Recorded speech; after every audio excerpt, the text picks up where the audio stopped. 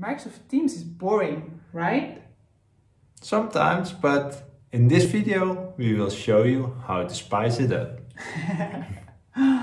but before we get started, thumbs Thumbs up up. and subscribe to our YouTube channel. Okay, tell me more. How can we make Microsoft Teams more fun? Yes, we what we can do is uh, when you go to Microsoft Teams, you see all your teams and your channels. But those channels are just flat text. So you do not see any emotion. Oh.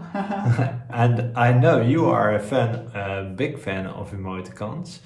So what you can do is you can create your team name and after it you can uh, change the name and add emoticons to the channel names.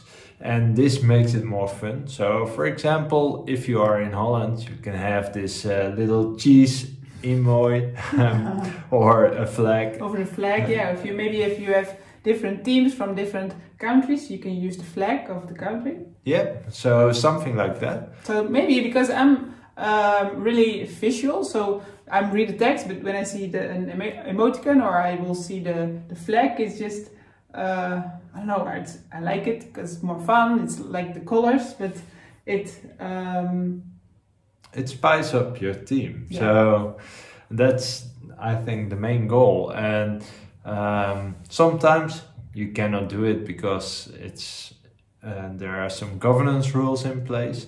But let's uh, show you in the demo how you can do it. Welcome in the demo. Um, I'm going to show you how to change uh, a channel name. First create a channel, then you can edit it. And uh, within uh, Windows, it's uh, Windows key plus, plus a, a point. Then you can uh, change the icon. Now uh, there are already a few in here.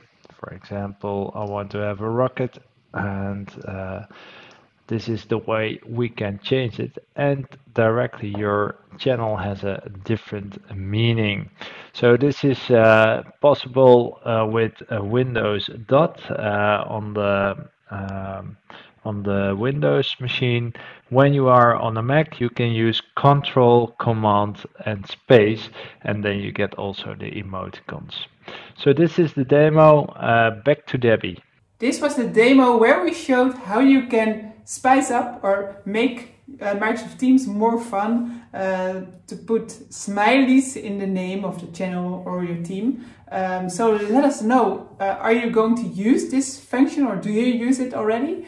Um, or maybe you, you cannot do it because uh, the organization is not allowed it or uh, well, share it with the community. Yeah, You leave your questions? comments at Yeah, the yeah. bottom.